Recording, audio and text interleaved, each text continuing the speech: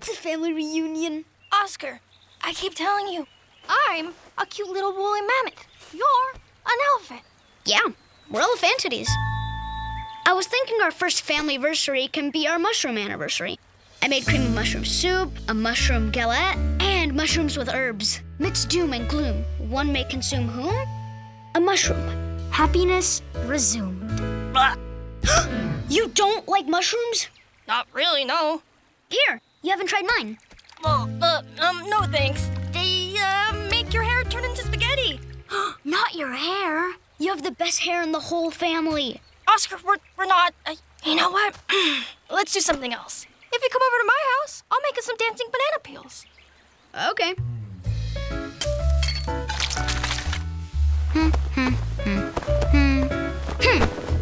Come on, Bubby. What was that Alice said about mushrooms? They make your hair turn into spaghetti. What? I didn't know that. Oh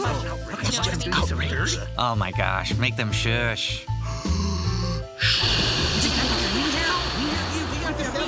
Mushrooms turn your hair into spaghetti. Pass it on. Mushrooms turn your hair into spaghetti. She went to the hairdresser, and the hairdresser said, No way, Jose. I can't do a thing with it. And now they're not friends anymore. And everyone started calling him spaghetti hair and pesto hairdo.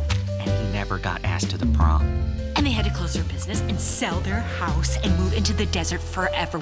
All because they ate a mushroom, which made their hair turn into spaghetti. Who told you that? Ah, this never gets old. Mm-hmm. The death cap is coming. The death cap is coming. The death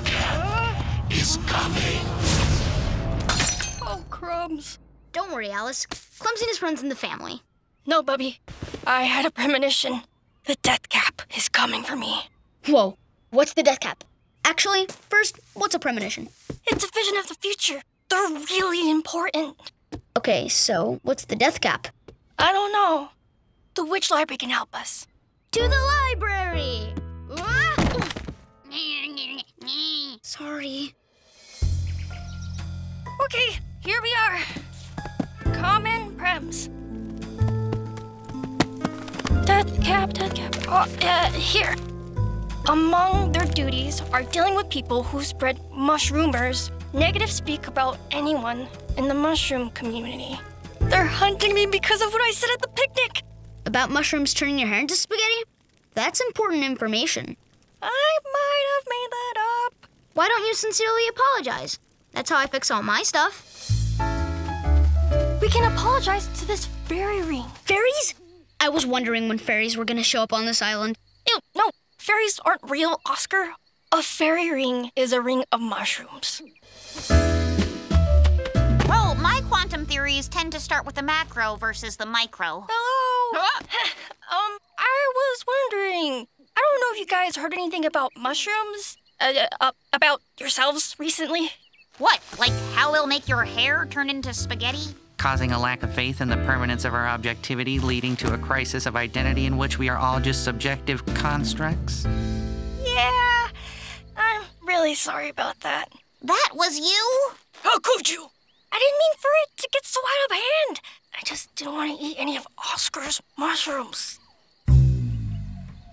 Well, thank you for being so forthcoming. We accept your apology. How'd it go? Really great. Yeah, come on. We still have to finish our dancing banana peels. The death cap is coming.